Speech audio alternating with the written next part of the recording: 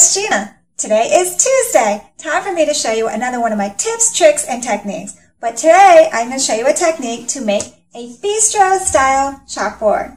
These are amazing. I absolutely love these. And you see them everywhere and I often wonder, how does somebody do this? They must have incredible handwriting. No, not at all. You are going to be amazed when you see how to do this. First, you will need a chalkboard, or I also like to use some foam board in black. You can use this as a chalkboard, and they also sell chalkboard paper and wrapping paper, which is super cool.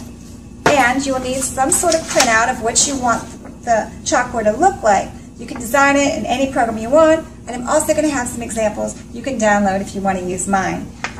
And some chalk.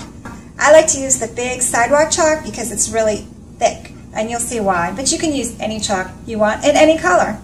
Also, a bistro chalk marker. And this is great because it doesn't rub off very easily. You can remove it with water, but it's great because it stays on until you want to take it off. And also a pencil or a pen. And that's it. So let's get started.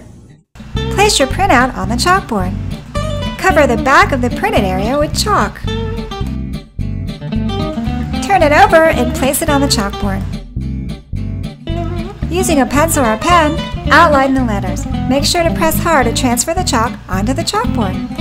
Remove the printout to reveal your perfect outline.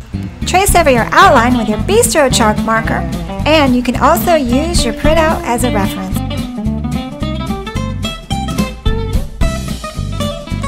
Once you finish the outline, you can fill in the letters any way you'd like with lines or fill them in completely. Doesn't this look just like the printout? You can also use colored chalkboard markers to make it even more fun. And there you go! Now you know how to make your very own bistro style chalkboard. Thanks for watching my video on how to make my bistro style chalkboard.